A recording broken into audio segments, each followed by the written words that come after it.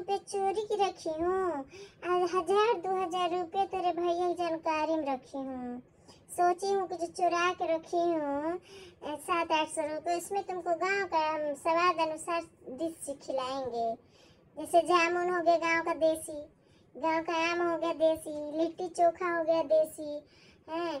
खेत खलिहान में घूमना हो गया स्विमिंग पूल की जगह तुम्हें टिब्बल मिलेगा नहाने के लिए। वो सही चलेगा। हाँ तो हम तुमको ले चलेंगे ना पूरा गाँव गलियार सब घुमाएँगे मंदिर मंदिर हाँ।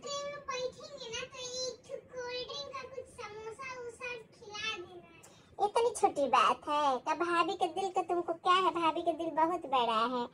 हमको अजमाओ मत हम तुमको खिला के दिखाएँगे। ठीक है? चलो इस बार भाभी के गाँव भी घूम लो। सरगम तुम भी क्या याद करोगी? हाँ बिल्कुल खिलाऊँगी। तुम भी याद करोगी कि भाभी साथ घूमने गए थे ठीक है ना?